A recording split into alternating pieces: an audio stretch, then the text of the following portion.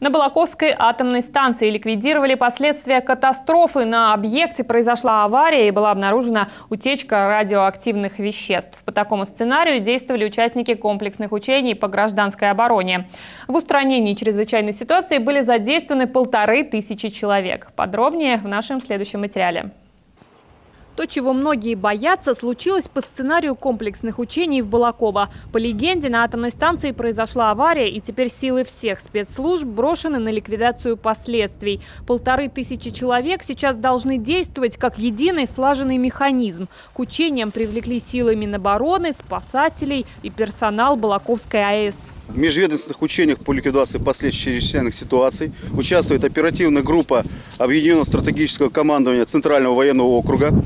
20, э, силы и средства ликвидации последствий чрезвычайных ситуаций от 29-й отдельной бригады радиационно-химической биологической защиты Центрального военного округа в составе двух батальонов численностью более 350 человек и более 100 единиц техники.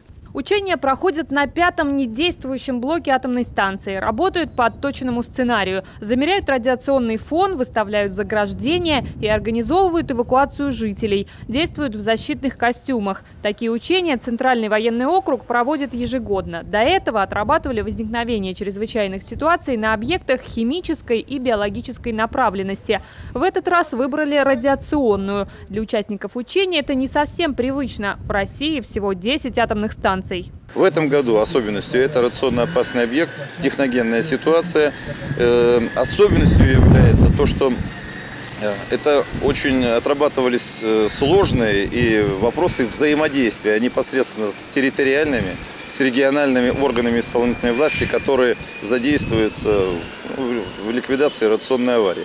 Учения проходят в несколько этапов. Завершатся 9 октября. В общей сложности в них примут участие 3,5 тысячи человек. Из них полторы тысячи действовали при отработке сценария на Балаковской атомной станции.